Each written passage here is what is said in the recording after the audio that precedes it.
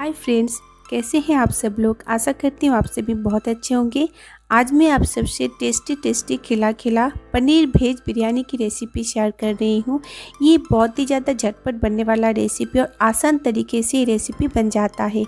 तो फ्रेंड्स बिना स्किप करे वीडियो को आप लोग फुल वॉच ज़रूर करें और आप सबसे एक रिक्वेस्ट है, अगर चैनल पर आप नए हैं तो चैनल को सब्सक्राइब करें लाइक भी ज़रूर करें। तो चलते रेसिपी स्टार्ट करते हैं। तो सबसे पहले हम पनीर को फ्राई करेंगे। पनीर जो है, मैं यहाँ पर इस तरीके से इस बड़े बड़े पीसेस में कट कर ली हूँ। यहाँ पर 200 ग्राम पनीर है, जो कि मैंने फ्राई करना है। तो देखिए गोल्डन ब्राउन होने तक मैंने पनीर को फ्राई कर लिया है। अब मैं इसमें ऐड कर रही हूँ, इसी तेल में ऐड कर रही हूँ प्याज। प्याज को हम गोल्डन ब्राउन होने तक भून लेंगे। और यहाँ से मैं आधा प्याज को उठा के साइड में रख रही हूँ तो इसे हम बाद में यूज़ करेंगे। अब इसी तेल में मैं ऐड कर रही हूँ कुछ खड़े मसाले। और खड़े मसाले ऐड करने के बाद मैंने यहाँ पर टमाटर और हरी मिर्च को डाल दिया है। अब इसे थोड़ी देर पकने देंगे। यहाँ पर मैं ऐड कर रही हूँ धनी अदरक और लहसुन का पेस्ट एक से दो चम्मच। बस हमें यहाँ पर आ, मसाले को भूनना है जैसे कि अदरक लहसुन का कच्चा स्मेल जाने तक भून लेंगे। और अब इसमें डालेंगे हल्दी पाउडर मिर्च पाउडर रेड चिली पाउडर और डालेंगे स्वाद अनुसार नमक। अच्छे से मसाले को अब हम भूनेंगे तो यहाँ पर मैंने डाला है पनीर भेज मसाला। पनीर का जो मसाला होता है ना तो मैंने वही डाला है। अब हम डालेंगे यहाँ पर कुछ भेजेस, जो कि मैंने डाला है फूल गोभी कैरेट और डाला है ग्रीन पीस, यानी कि मटर। तो इन सबको हम थोड़ा सा भून लेंगे। उसके बाद इसमें डालेंगे चॉप किया हुआ धनिया पत्ता, पुदीना पत्ता, इन सबको भी भुनेंगे। ये बहुत ज़्यादा झटपट बन जाता है। देखिए, एक ही साथ में सारा सब्जियों को डालना है और हमें थोड़ी देर इसे पकाना है। आधा कुक करना है। वेजिटेबल्स को हमें बहुत ज़्यादा गलाना नहीं है। बस हमें आधा ही इसे कुक करना है। तो देख सकते हैं, तीन चार मिनट तक मैंने वेजिटेबल्स को पका लिया है। ये आधा पक चुका है। अब हम गैस को कर देंगे बंद और वेजिटेबल्स को साइड में रख देंगे। ये देखिए फ्रेंड्स। राइस बनाने के लिए मैं यहाँ पर इस तरीके का बर्तन का यूज़ कर रही हूँ। आपके पास जो भी बर्तन है, आप वो ले सकते हैं। और इस ग्लास से मैं मेज़रमेंट करूँगी। तो मैं यहाँ पर इस ग्लास से पानी ऐड कर रही हूँ, जो इस ग्लास का एक गिलास अगर चावल लेती हूँ तो यहाँ पर डेढ़ गिलास पानी लेना है। यानी कि जितना हम चावल लेंगे, उसका डेढ़ गुना पानी लेंगे। उसी हिसाब से मैं यहाँ पर एक किलो चावल का ये बिरयानी बनाने वाली हूँ। तो इसमें मैंने ऐड किया है सॉल्ट नमक और इसमें एक तेज़पत्ता और मैंने ऐड किया है इलायची। और ये है घी। तो इसमें हम घी डालेंगे, दो तीन चम्मच घी डाल देंगे।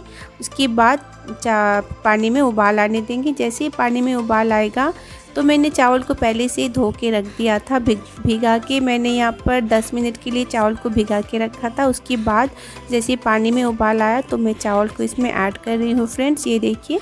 चावल जैसे ऐड होगा, थोड़ा सा हल्का हाथों से मिक्स करेंगे और यहाँ पर थोड़ा सा गैप रखेंगे। ढक्कन का हम ढक्कन बंद करके कुक करेंगे। तो जैसे ही चावल हमारा 50 परसेंट कुक होगा, उसके बाद मैं यहाँ से आधा जो चावल है ना, उठा के दूसरे एक बर्तन में निकाल लूँगी। तो ये देखिए इस तरीके से, अगर हम इस तरीके से बिरयानी बनाते हैं तो ये बहुत झटपट बन जाता है और बहुत ज़्यादा ताम करने की ज़रूरत नहीं पड़ती है। देखिए फ्रेंड्स, ये देखिए, अब मैं इस चावल को अच्छे से इस तरीके से फैला दूँगी। अब इसके ऊपर मैं ऐड कर रही हूँ कटा हुआ धनिया और पुदीना के पत्ते। और जो जो सब्ज़ी मैंने यहाँ पर बना के रखा था, ये सब्ज़ी यहाँ पर ऐड कर देंगे और इस तरीके से फैला देंगे फ्रेंड्स। ये देखिए। अब मैं इसमें ऐड कर रही हूँ फ्राई किया हुआ पनीर। पनीर को इस तरीके से बीच बीच में हम रख देंगे। इसमें ऐड करेंगे होममेड बिरयानी मसाला। ऐड करेंगे धनिया और पुदीना का पत्ता चॉप किया हुआ। ऐड करेंगे घी। और जो राइस मैंने अभी निकाल के रखा था, वो राइस इसमें अभी हम ऐड कर देंगे और इस तरीके से अच्छे से फैला देंगे। तो बस है ना, बहुत ही ज़्यादा आसान तरीके से बनने वाला रेसिपी बहुत ज़्यादा हमें तामझम नहीं करनी पड़ती। तो देखिए फ्रेंड्स इस तरीके से फैला दिया है चावल को। अब ऊपर से भी हम थोड़ा सा कटा हुआ धनिया और पुदीना का पत्ता ऐड करेंगे।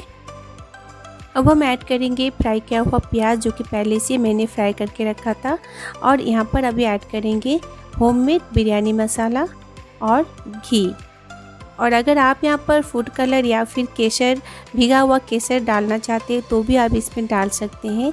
तो मैंने यहाँ पर फ़ूड कलर या केसर का इस्तेमाल नहीं किया है। इस तरीके से हम ढक्कन को लगा देंगे। ये देखिए, और ढक्कन बंद करके बिल्कुल लो फ्लेम में हम इसे 15 मिनट तक कुक करेंगे। 15 से 20 मिनट तक हम इसे राइस को पकने देंगे। 20 मिनट के बाद गैस को हम बंद कर देंगे और तुरंत हम ढक्कन को नहीं खोलेंगे। उसके बाद भी हम 10 मिनट तक और वेट करेंगे। उसके बाद ही मैं आपको ओपन करके दिखा रही हूँ। तो फ्रेंड्स ये देखिए हमारा खिला खिला बिरयानी बनकर बिल्कुल तैयार है। बहुत ही ज़्यादा खुशबूदार बनी है। अगर आप इसमें कैमरा वाटर या फिर फ्लेवर के लिए रोज़ वाटर डालना चाहते हैं तो भी आप डाल सकते हैं। पर मैंने यहाँ पर कोई भी फ्लेवर यूज़ नहीं किया है। तो देख सकते हो फ्रेंड्स, बिल्कुल खिला खिला बिरयानी बनकर हमारा बिल्कुल तैयार है। चलते हैं, इसे सर्व कर लेते हैं। तो ये देखिए फ्रेंड्स आप लोग भी इस रेसिपी को इस तरीके से एक बार ट्राई ज़रूर करें।